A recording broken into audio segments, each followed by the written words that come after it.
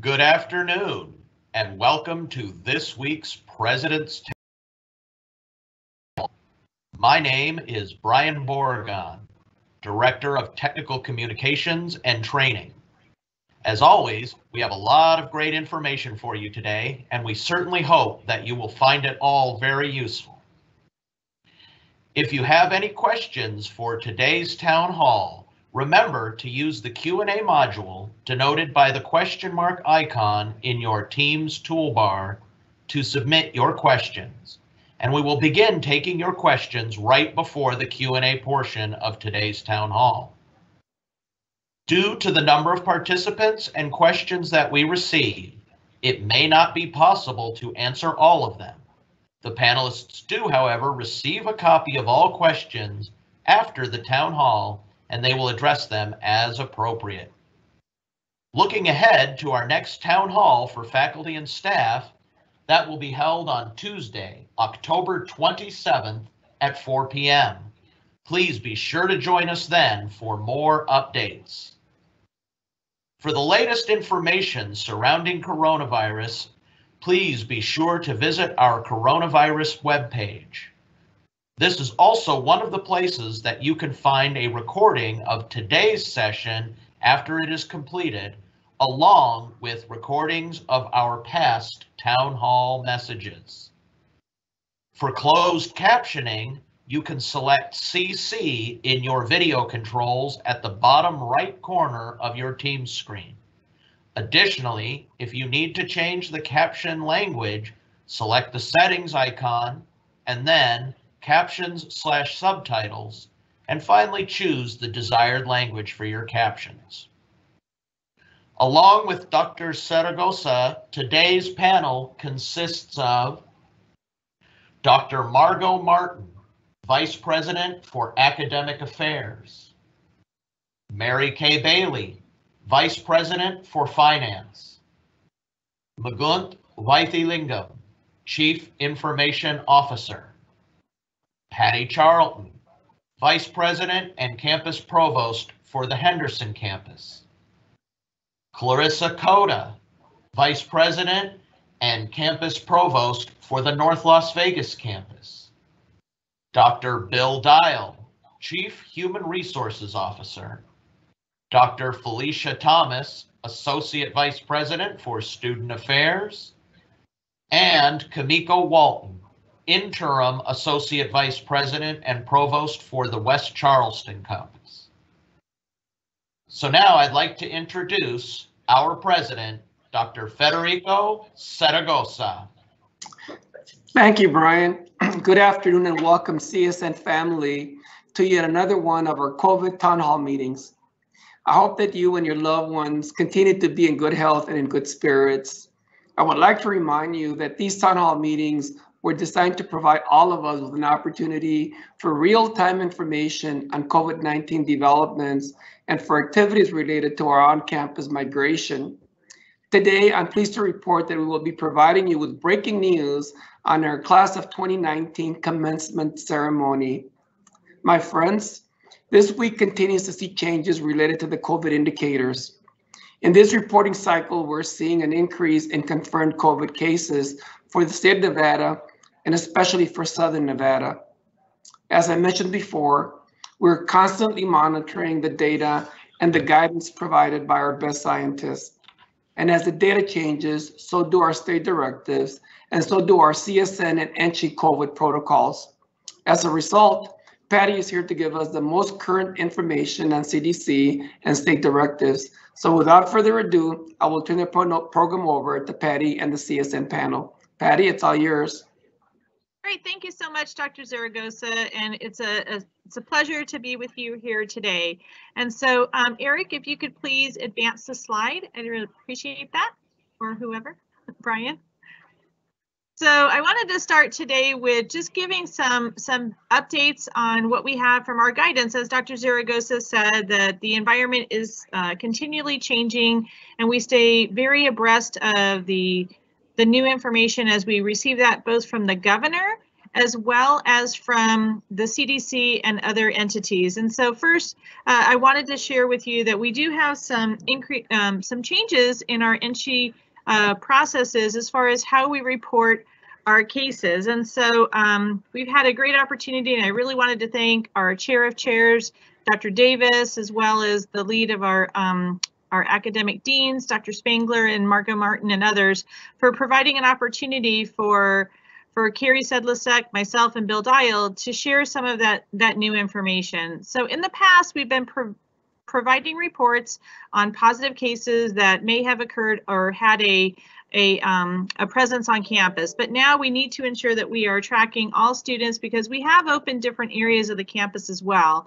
So for example, students can go into our libraries, they can also go to our computer labs, and some of our students are also visiting our student union as well. And so what we want to ensure is that we are getting the best information, not just about students, but also with our faculty and staff. So any positive case, please, please ensure that you are reporting that through Wellness at CSN. And it's not just from a reporting protocol process, but it's also so that we can connect our students, our faculty and staff with resources. And you're going to hear a little bit more about that from Bill Dial shortly.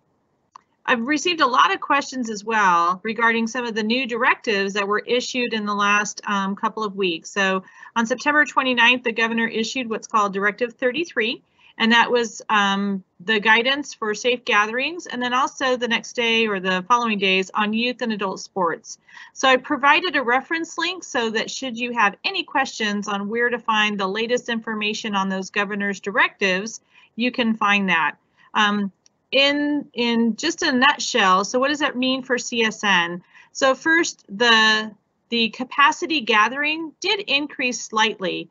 Uh, but we are also still required because of the size of our gathering space to still 50% of the fire code. So that really hasn't changed a significant amount for CSN, um, but we do continue to monitor all of our spaces and all of our activities accordingly. It does also increase some of our um, administrative uh, requirements, and so we're tracking that as well. We worked last week and over the last couple of weeks with all of our stakeholder and constituent groups from Faculty Senate, from NFA, AFA, Classified, and our student government regarding an activity and events procedure just for this COVID environment. And this is just a temporary policy, not a policy, but a procedure so that we can make sure that we are administrating any of our activities and events that happen on campus or off campus. But in any case, when CSN is affiliated with any activity. And so we've got a procedure and we'll be posting that, working with uh, Jimmy Martinez and our general counsel's office, but really wanted to thank all of our leadership, Maria Shellhays, Luis Ortega, Nikki Hughes, as well as Chantel Roger Owens. And then Carly, I know that you weren't able to be there, but we'll be circling back. But thank you all for that.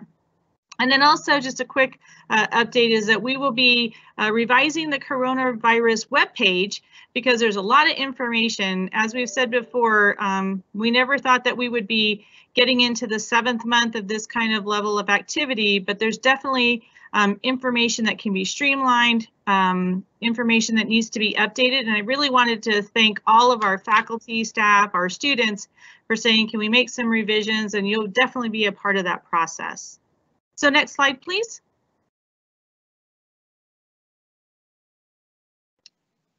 So on behalf of all of us at CSN, we wanted to make sure that we just refresh this for you as far as a reminder to everyone, all of our students, our employees, our faculty, our staff, that we are reporting those items that need to be reported through our wellness at csn.edu. As Dr. Zaragoza mentioned, we are seeing an uptick in our state across the uh, across the state, but also in our valley. And so it's very important that we receive very timely information. So first, if you are aware of anyone that you are in contact with or um, specifically from a student or if a faculty or a staff member, if you need to report that you've had a positive COVID test result, we need to know that as soon as possible. And that's one, again, to connect you with the resources that you might need, but then also to do any contact tracing and notify the Southern Nevada Health District along with the results that you may have.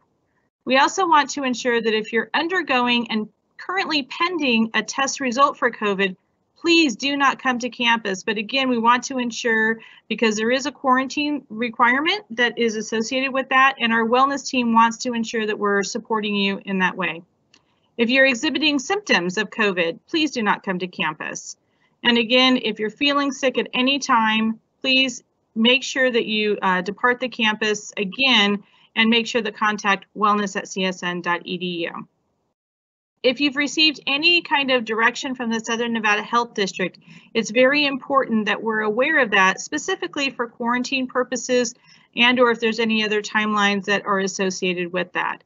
And then also if you've been in close contact or if you have a student has that has notified you that they've been in close contact, we need to be aware of that as well. Um, and a close contact again is defined as within a close proximity of six feet for 15 minutes or greater. And the CDC has actually revised some of that information, so it's not a continuous 15 minutes, but it can be 15 minutes over a span of time. And again, if you have any questions at any time, please contact wellness at csn.edu. It's a confidential webpage. There's very limited um, individuals that have access. And again, it's just so that we can help guide you in the appropriate manner, give further instructions, and then also provide services if they're needed. Next slide, please. And so you've seen this before, but we always want to continue to make sure that everyone has it at the very forefront, especially as we get into cold and flu season. COVID symptoms may look very similar to the regular cold or flu that you may come in, in contact with, but again, these are the symptoms and we want to make sure that people are being mindful and that our students are being aware. At this point in time in particular, um, somebody may feel like they have the cold, but it also could be that they have an exposure to COVID as well. And so th this information will be posted on our um, COVID uh, webpage as well. And so please just make sure that you um, kind of keep up to date on any of these symptoms. So next slide, please.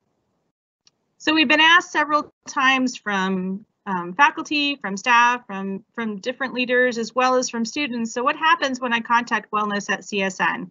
So first, what this is really about is, is it's a case management so that we can contact anyone that may have a question that may be feeling symptomatic, may not become symptomatic, but may have had a close contact. Maybe they have a friend or a roommate or a family member that is either um, tested positive or that they've been in close contact. So we contact each and every single individual.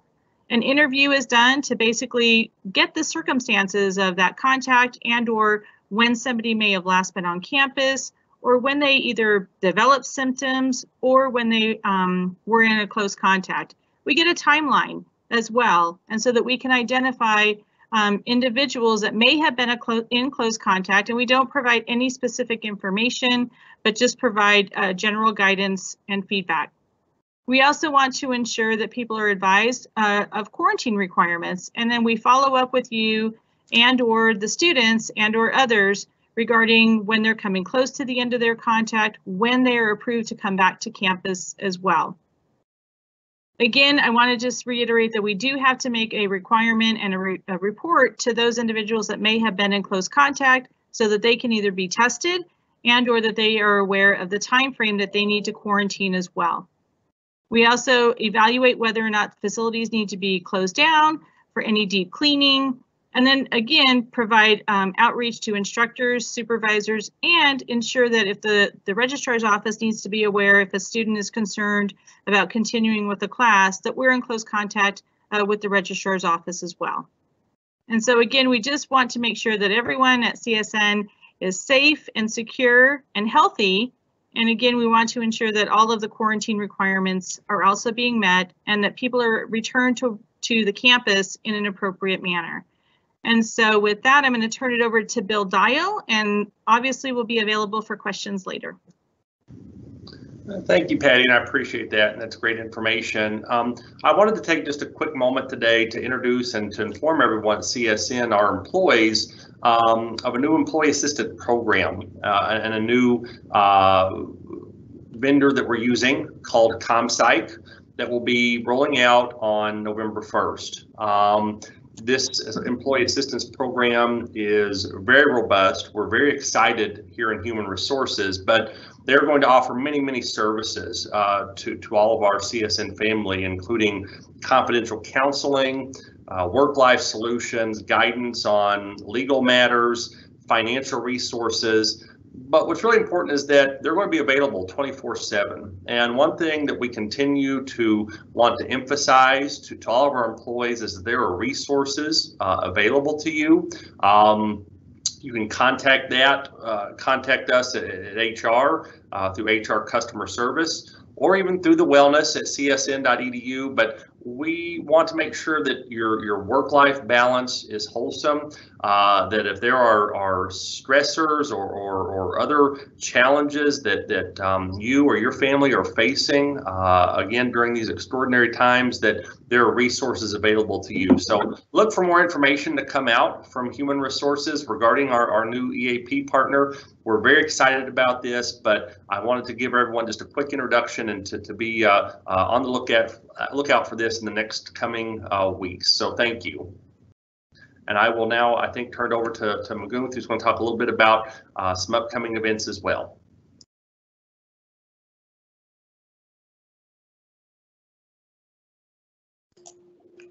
Thank you, Bill. um, I wanted to make sure that uh, please uh, remember to enter your questions in Q&A module uh, on the Teams, please. Um, I know this has been taken a long time for us uh, to get to, to this point. However, as you can see from the results presented here on the screen, uh, CSN's body has uh, overwhelmingly favored uh, in-person ceremony over a course of two surveys. Uh, in the light uh, of that, our team, led by very hard work and incredible AVP, uh, of Laura Latimer has tossed around a number of ideas and dates to try and present something where students could walk across a stage, but with persistence of COVID-19, even after five months out, we have no ability to gather a group of this size together.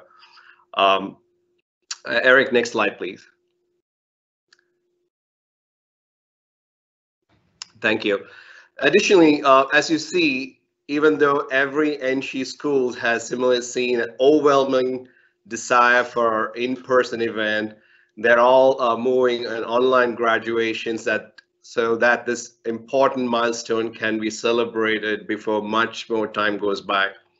Uh, even now, many students may not participate uh, as they may have moved on to the next stage in their life and we don't want to lose any uh, more of them.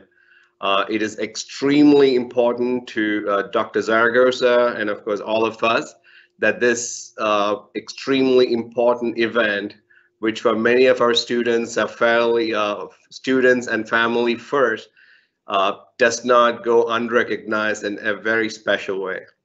Um, that further said, Eric, next slide, please.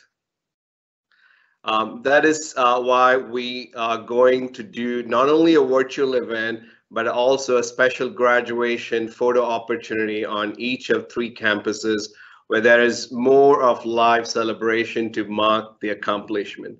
Um, at this photo op, uh, they take picture with Dr. Zaragoza while receiving diploma cover and the Loyola special web page with their photo and a personal message. The virtual ceremony, virtual ceremony will contain all of the elements that an in-person graduation would have, uh, and our graduates will be publicly recognized so that we uh, commemorate this momentous occasion in a special way without having to uh, congregate with others in close contact. Um, it is our hope that this model will offer the level of recognition that our students deserve and also the protection they need. Uh, we want to ensure that each and every student is given a special shout out that they have earned through their hard work and determination. And we believe that this provides that. Um, if you have any questions, please reach us out about the commencement uh, to me or to uh, Laura Latimer, uh, and, and we definitely can provide that for you. Uh, thank you for all the opportunity. Thank you, Dr. Z. Brian, I think it's back to you for the question sessions. Thank you. Are staff and students supposed to report COVID-19 illness or exposure if they are working exclusively at home or taking online classes only and haven't been to campus?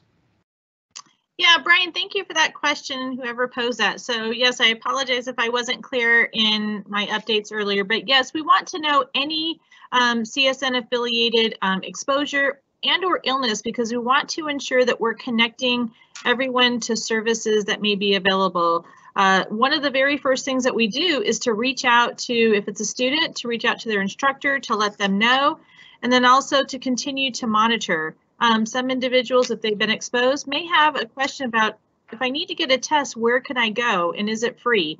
So we do have information that we can also provide, but want to ensure that everyone first and foremost is is taking care of themselves. If there's any additional assistance that we can point them to, um, that we're making them aware. So yes, it's whether you're on campus or off campus, um, if you're remote, or um, if you have any connection whatsoever. So thank you.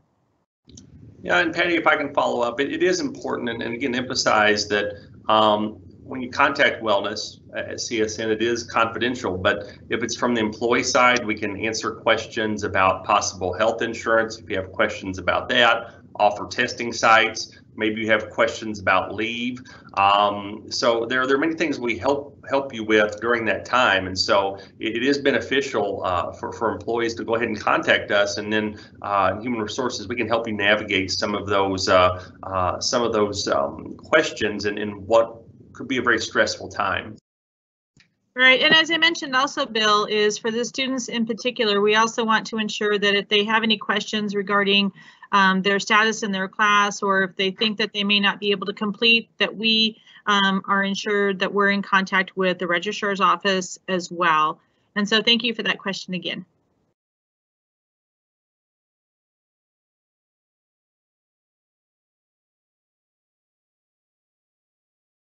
Brian, you may be muted.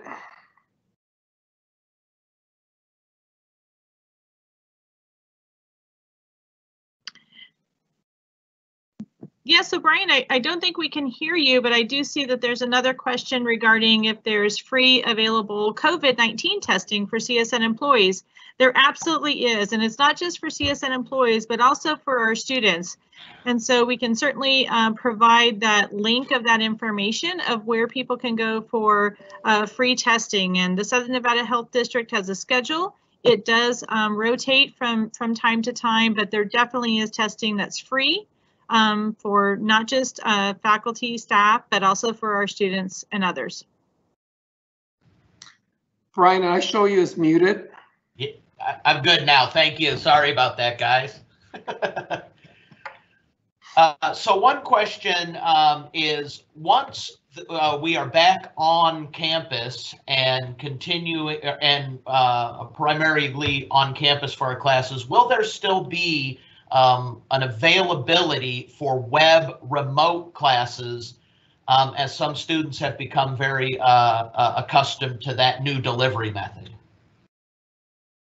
Margot, you want to try that? Sure. So um, I think that's a really terrific question. And, and right now, we are really trying to balance uh, safety uh, with solid pedagogy. And, and I imagine, uh, it's funny, uh, earlier today, had a chance to meet with some of the folks in IR, and we are discovering from some recent student surveys that that students right now are, are feeling pretty good about the online environment and what's happening. So um, I think that as we move forward, uh, things are probably going to look a little bit different in the instructional environment. That said, though, I know that that I want to see students back on campus. And I know that there are a lot of faculty and students that are anxious to get back on campus as well. But as we continue to learn about the instructional environment and what works uh, and what we can do better, um, I think those are going to be ongoing conversations among the faculty, the department chairs, and the deans. Thank you. Do we have any updates on the interim VPAA search? Uh, yes, actually, we certainly do. And so actually, the uh, screening committee finished their uh, interviews today. And so they uh, they will be assessing those candidates and will be forwarding uh, finalists on to the hiring committee. Uh, there will also be um, live forums using Microsoft Teams um, so that uh, uh, we will have that process in place. And then for those forums, um, as a best practice, we will record those and make sure they're closed captioned so that uh, our CSN family can provide feedback uh, on, on the finalists. And so our hope is, is that we can then uh, begin executive team transitions here very quickly. Um, following up sort of in that same vein, um, the screening committee for the chief of staff and chief diversity officer. Met yesterday yesterday afternoon that position is closed and so they're going to begin their process of, of reviewing uh, applications very soon and so we are moving forward with that search um, as well. So uh, good, good news on those those two fronts. Thank you very much. As we begin planning for the new spring semester can you provide an update on how furloughs will be managed? Will employees choose their own furlough days? And will or will CSN close on specific days? So that's a great question. And actually, I have a meeting Thursday, and uh, we'll be receiving some guidance from NSHE on that.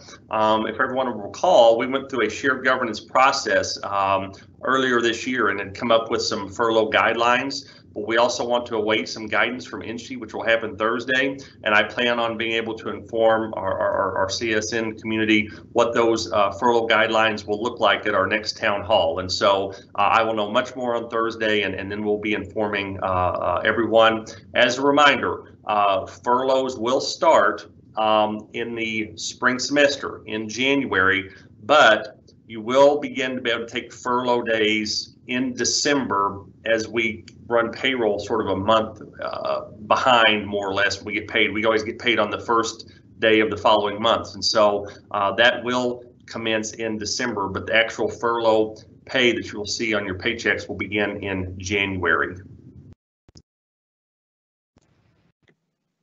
Thank you, Bill. Can we go to our offices now by ourselves? Yeah, so thank you for that question. And we do continue, if you're not somebody that has been identified as required to be on campus um, on an ongoing basis, we do ask that you still notify and seek approval uh, through your um, your supervisory chain so that we can ensure that one, not just that um, that that you have access to your your office, but that also that we can ensure that your safety is is first and foremost taken care of. Um, we also have been uh, implementing a number of cost saving measures, such as reducing um, the the use of air conditioning. And so if it gets a little warm, we're, we don't know if you're there unless you notify us. We also want to ensure that we keep your area clean and that should um, we have an unfortunate situation where someone is tested positive and you were in close contact within that area, that we know that you were there. Um, I don't know if Margot or Clarissa wanted to add anything. No, Patty, I just really appreciate your emphasizing that we're, we're really just trying to keep track of uh, of who's on campus from a from a safety perspective and uh, and making sure that that we're able to support you if you are on campus. Brian, before we go on, can somebody uh, uh, update the slides uh, so we can get rid of the slide and actually see the talking uh, faces, please? There we go. Yeah, Clarissa, did you want to add anything about the access to campus and or Kimiko? Sure. Um, so we, so at North Las Vegas, we just are working hard. You have your campus management team that's accessible. You can always contact uh, me or Sarah Taylor. Um, but we have our campus life and uh, we're meeting on a weekly basis via Teams. So we try to be, uh, do our best to be as responsive as we can. So if you need access, um, to to the campus and um, you know and and provide um, the justification through your supervisory chain. We do our best to try to be very responsive to that and get it loaded onto the campus access list. Thank you very much. Is there any new information in light of the massive budget cuts if there are going to be buyouts offered? Bill, you want to give an update? Sure, and, and, and I will uh, I, I will address the, the voluntary retirement incentive program, and I'll, I'll defer to, to Mary Kay about budget cuts because I don't want to, to address that necessarily. But um, we have actually uh, created the final survey. It will be a confidential survey that will be going out to those employees who are possibly eligible for the voluntary retirement incentive program. Uh, that survey will probably be going out next Friday with a two-week time frame. Uh, confidential, information will then come back um, and we will review to see what is the level of interest across all employee groups. Um, and then depending on the feedback that will let us uh, have a data informed approach of the creation um, uh, of the program that I will then, along with our, our budget reduction task force committee on that, that I'll bring back to the larger committee to make recommendations. The due date given to my to me by by Dr. Zaragoza was December the 1st, and so um, we will have uh, definitive answers by December 1st. That if we move forward with that program, it will be in the spring of 2021. Thanks again, Bill. If a student just recently informed a faculty or staff member that they had COVID over three months ago, should the student still be encouraged to report that they had COVID? If so, how far back should faculty, staff, and students report past COVID cases? Okay, thank you. And yes, we do ask that you still report those cases. One for for just a tracking because we do want to ensure that again, if there's some improvements that we can make to our processes, that we are doing that. We also know that students um, may have um, potentially stopped um, attending class and may not have gone through our process, and we want to ensure that we can support them accordingly. And then also, even for our employees, we want to ensure if there's anything additional that we can do to support any um, of the different um, activities that occurred, or um, if there's any ongoing need from a health perspective, because we're learning much more about the virus as we go through this process. And, you know, there are reoccurrences and some prolonged health concerns as well. So yes, if you have any information, again, it will be kept confidential. And we just want to ensure so that we can do the very best for CSN moving forward and support people as they need it. Thanks, Patty. Are there any updates on a permanent continued remote working policy for those positions that lend themselves to stay remote even after a complete return to campus? Yeah, I'll be glad to give that update. And so uh, myself and, and, and Mr. James Martinez, uh, our chief legal counsel, um, have are, reviewing the final uh, draft of that policy, at which point it will go through the regular uh, policy making proposal here at CSN. Um, and so at that point, if if and when we return to uh, again a, a, phase three or return to campus, we will then have that policy which will help guide us for, for positions that can remain uh, remote, uh, as we have kind of learned in this in this new new normal we're in, that, that some of our positions indeed can remain remote, either part time or even full time. So um, those final uh, revisions and reviews are taking place right now. Terrific. What is the status of the of the um, salary appeal process? Okay, so we're in the final stage of the salary appeals process from the the uh, from the salary study, and so those notifications have been uh, sent to uh, affected vice presidents uh, and executive council members, as was outlined in the process uh, when the salary study first commenced. And so um, those are under review with affected vice presidents and executive council members, uh, at which time when uh, th those final reviews are then sent back to human resources, employees will be notified uh, by myself uh, or, or, or, or, HR. Uh, and so that should be forthcoming in the next uh, few days as we finalize the salary study. So we are uh, winding that process down. Has the switch to online learning given any insights to the student need to develop reading strategies? So what we are learning through looking at student success data and looking at student survey feedback is that while students are feeling much better about uh, operating in the online environment, there is still some concern in terms of those students that really do learn better in a in a face-to-face environment. We've not specifically drilled into reading skills, um, but one thing is for certain, um, in the we were able to take a look at spring grades and we're currently analyzing summer grades. But uh, the the number of increase in in D or F grades uh, was was insignificant. So in terms of grades, uh, students performed uh, about as well, maybe even a little better in the spring of 2020 than they did in the spring of 2019. But we're doing a little bit deeper dive into what those numbers really mean. Uh, and again, have some really terrific survey data uh, that adds to some survey data that we took a look at uh, a few months ago. And probably in the next couple of weeks, we're going to uh, be prepared to uh, share that, that new data with uh, with the cabinet and the uh, and the broader college community.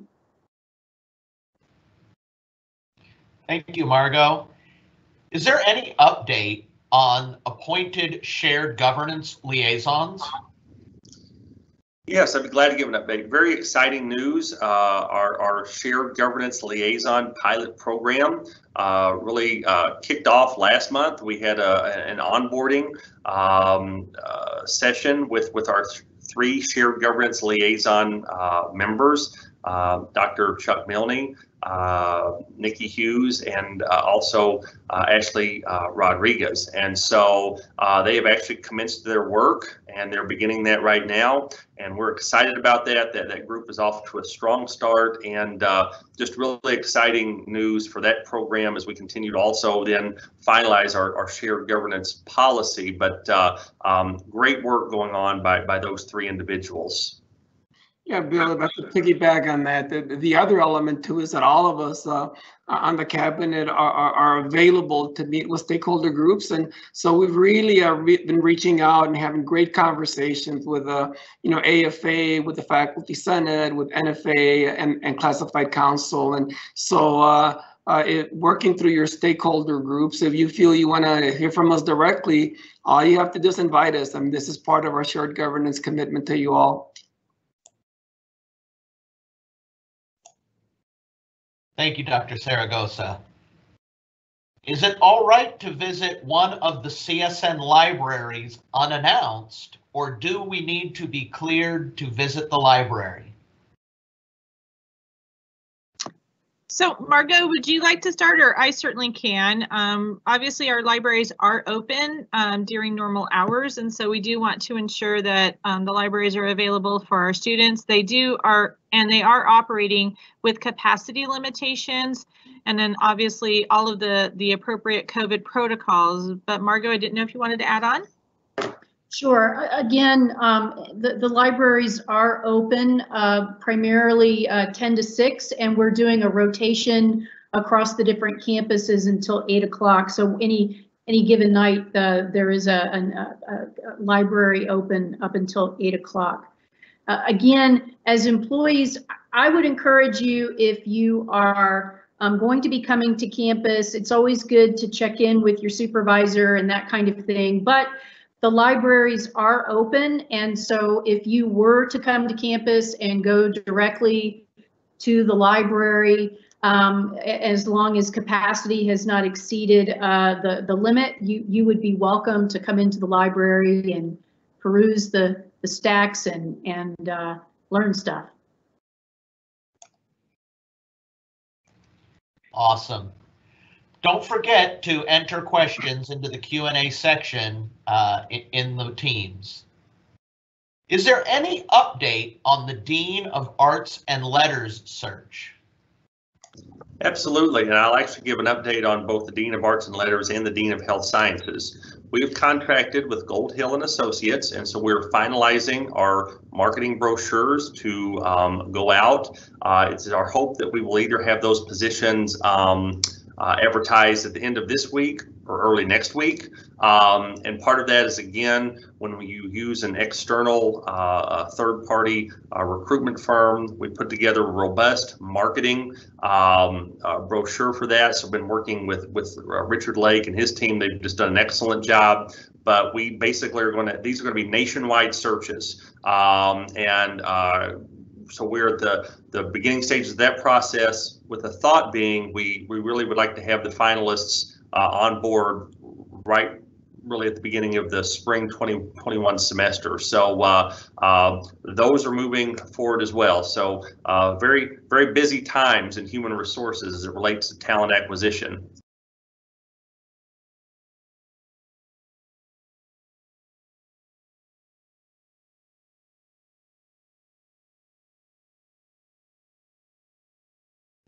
I think we just lost Brian. Yeah. And, and, maybe if I could give one other quick update while Brian's coming back is um, uh, we have also at CSN sent off our um, our, our uh, uh, October iteration uh, for hiring freeze exceptions, and so uh, that is uh, in process as well right now. So that's another update as it relates to recruitment, talent acquisition, and, and human resources. Thank you, Bill.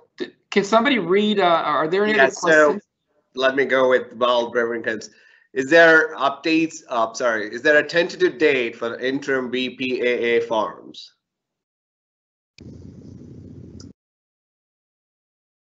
Bill, you're muted. Yeah, now, now I'm having some issues. Um, so the, the, look for those. There will be an announcement coming from from Human Resources, but those will probably be next week, probably Tuesday or Wednesday. Uh, but again, we are going to record those forums and then we will be able to post those uh, and, and, make sure that they're transcribed closed caption so that individuals that may not be able to attend the live event can then view those and then we will send out a brief survey with a deadline so that the um, hiring committee can review that feedback from, from our from our CSN employees. So that will happen uh, next week, early next week. So look for an announcement from Human Resources. I'm trying to pretend like Brian. So thank you, Bill. This is a follow-up to the question about how students are doing. Have you considered uh, uh, comparing their reading placement test to their final grades? So at this time, we have not been uh, comparing placement tests to uh, to final grades in terms of reading, but um, uh, if, if that's something that is of interest to you, um, feel free to reach out to me directly and uh, and and we can certainly uh, connect you with with IR and uh, and and and maybe have a conversation about that. Yeah, Margot, and if I could follow up on that, that that question really is the uh, the million dollar question uh, throughout the country, and, and that is, uh, you know, what kind of impact has the online environment and remote environment uh, had on student learning? Uh, and I think it's it's fair to say that that all of us uh, at CSN and nationally are trying to answer that question uh, and we are getting surveys and we are getting feedback. Uh, uh, but I, I think that's also an area of opportunity for us, uh, you know, both as individuals and as departments to, to start looking at, at what that means uh, uh, to your specific discipline. because my sense is that it's going to vary uh, in terms of what students uh, are majoring in, their discipline, the, the demand. Uh, you know, there's a lot of elements at play, uh, and, and there's not going to be a, a, cookie cutter response to that. You know, I keep uh, suggesting that a lot of the data is bimodal. Some students love it, and some students don't. Uh, and so uh, I think it's really important to, to, to us as a learning uh, institution to keep asking that question and to find ways uh, to get good answers for us that make sense for our discipline and for our students. So again, I encourage and challenge us to keep asking that question and to keep probing for answers. Thank you, Dr. Zaragoza. Can you tell us what is being considered eligible for the buyout?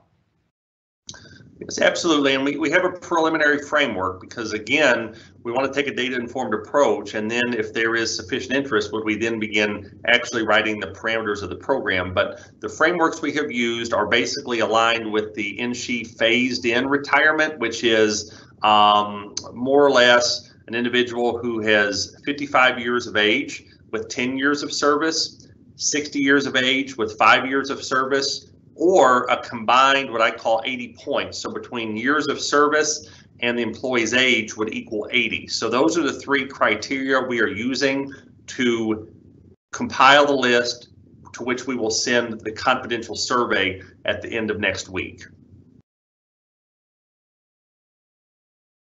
Thank you for that information. What specific resources have been allocated to support faculty in online instructional design? So in our Office of E-Learning, we do have um, a budget that uh, is allocated for faculty development. And uh, we've, we've always offered uh, uh training in terms of the use of our learning management system. Since we went remote, uh, not only has Terry Norris and his team continued to deliver just-in-time training on Canvas, but along with uh, with OTS, we've incorporated all different types of telecommunication sorts of, uh, of tools.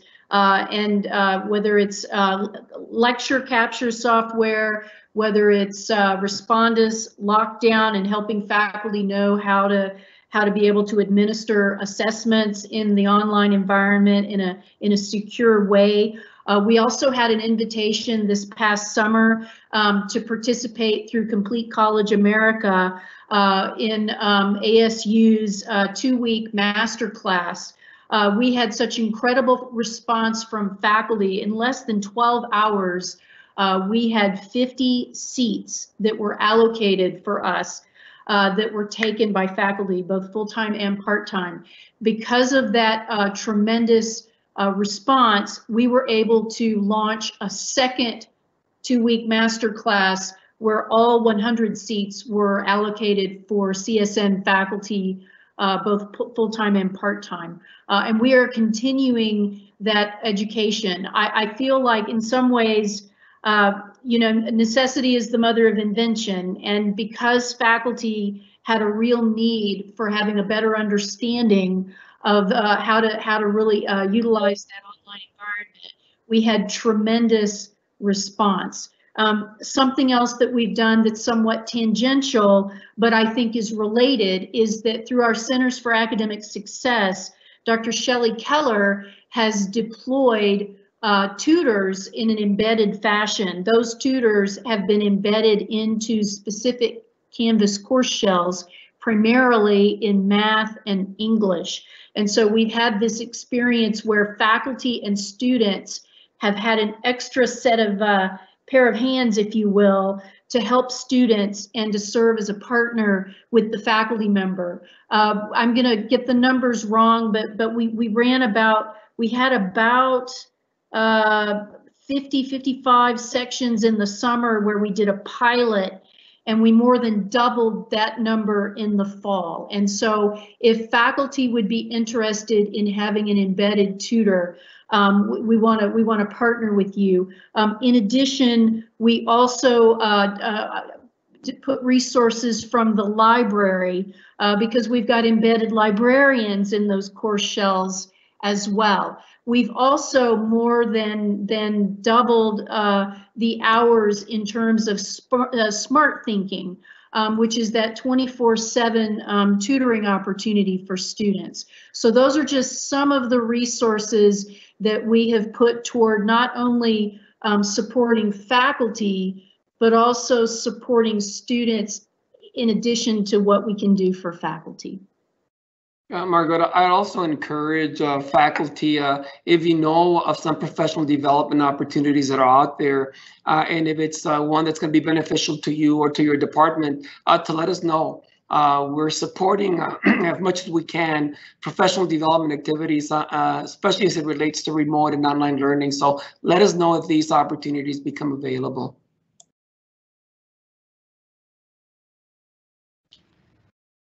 Thank you. Is there a planned reorganization of facilities management since a number of personnel have left CSN or retired already? So, so thank you um, for that question. And, you know, obviously in this current environment, we work very closely with the Budget Reduction Committee, with Dr. Zaragoza, with Mary Kay, with Bill, uh, to really look at where we're heading into the future. Obviously, there's a lot of unknowns, and so we continue uh, to look at how we can streamline efficiencies and effectiveness. And so thank you very much for that question and stay tuned.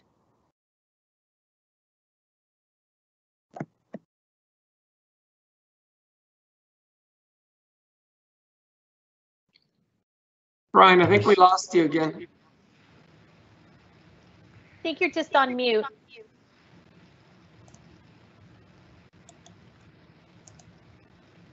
Brian, you were either on mute or we lost you. Can you hear me now? I can hear you now. Okay. Are there discussions underway that would require new students to complete an online readiness orientation prior to enrolling in online classes? So we've actually had a series of modules in place for probably more than a year now uh, to help students uh, determine their their readiness for the online environment, but not just readiness, but actually providing readiness for the online environment. Um, at this time, it is uh, it is not mandated. It is it is suggested, uh, but I would be very open to uh, having dialogue with faculty leadership in terms of uh, having that uh, be a true box to check for students, particularly as we anticipate continuing in this online environment uh, for uh, at least for the for the coming spring semester. Thank you.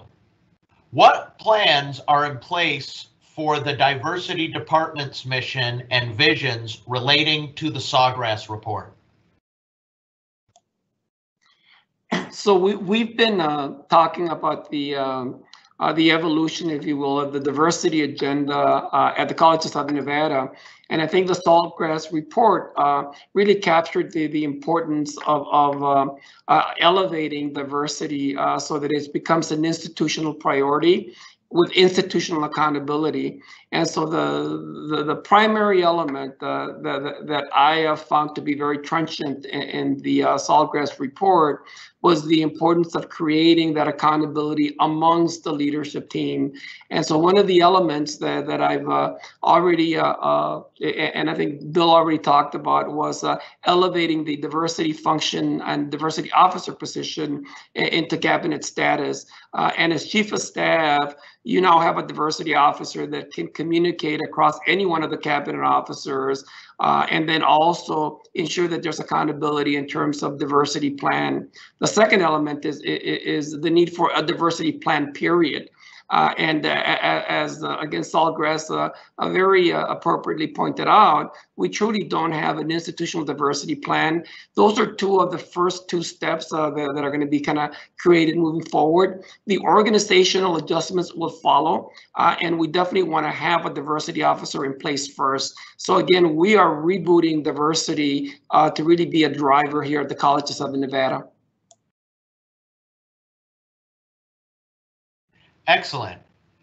How many full-time employees were employed full-time to support faculty instructional design in the Office of E-Learning before moving to full distance education?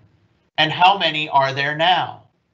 My concern is that outsourcing faculty development wasn't productive since faculty were introduced to a lot of tools that CSN is not willing to fund.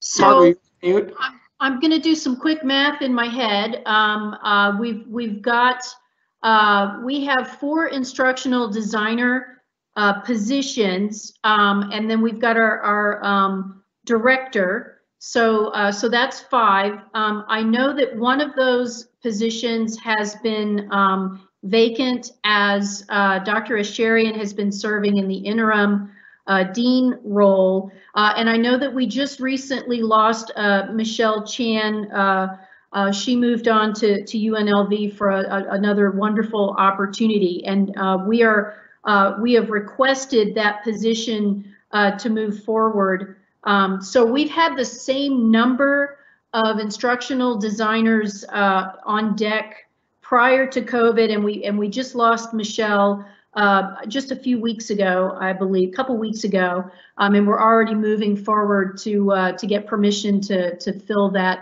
position. Um, in terms of uh, tools that that uh, that faculty have been exposed to that that we're not funding, um, I'm not really quite sure what that is referencing, and I would be very happy to have a, a deeper conversation in that regard. I know that uh, the kinds of things that we have been providing uh, instruction on have to do with um, uh, with the current tools that that we are using, many of which uh, has introduced to us. Um, and uh, and I know that the ASU course focused a great deal on pedagogy uh, and was based in the the Canvas learning management system. So again, um, definitely are looking to uh, fill the gaps in that regard, um, but would be happy to have a deeper conversation to address uh, some of the some of the other uh, concerns that were mentioned in the question. Thank you, Margot. Will grant and aid be available in spring 2021? And if so, when should the process to apply be started? So yes, grant aid is available and I would probably go ahead and start that process now as we process those applications through uh, through the semester. And so if you have any questions, just please email HR customer service uh, at csn.edu uh, and we'll be glad to help you with any uh, specific questions you have on your uh, individual circumstance. Okay, so that closes, uh, that comes to the end of our session. Um, I want to thank everybody for being here.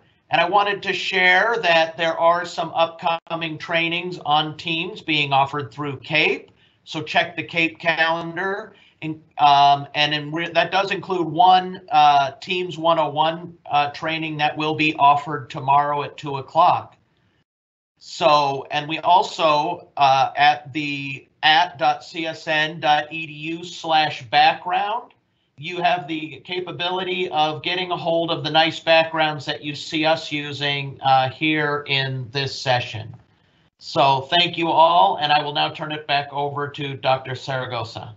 Thank you, and, and let me just echo uh, Brian's uh, appreciation for all of us being uh, at the town hall. I think the panel continues to do a great job, and uh, it, it's a great dialogue uh, uh, to have every other week, and, and let's continue this. it gives us a very good idea of, of what's you know on your mind and what are the pressing questions that that we have to address uh, so again keep the questions coming uh, provide us with your input uh, and let's continue our journey back to normality uh, and uh, let's not forget we are all in this together. So stay safe. God bless. And see you at our next town hall meeting. Adios